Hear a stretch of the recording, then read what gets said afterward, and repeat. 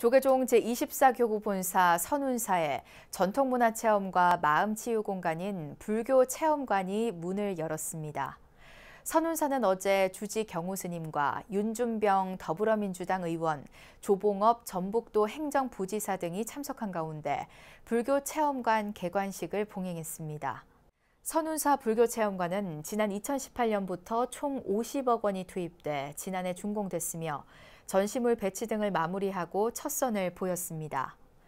선운사 도솔천 불교체험관은 독립운동가이자 교육문학가인 석전 박한영 스님을 추모하고 내외국인들이 한국 전통불교 문화를 경험하는 공간으로 활용됩니다. 선운사 암자 도솔암으로 올라가는 길목에 자리 잡은 불교체험관은 도솔천의 자연과 어우러져 문화와 힐링의 명소로 각광받을 걸로 기대됩니다.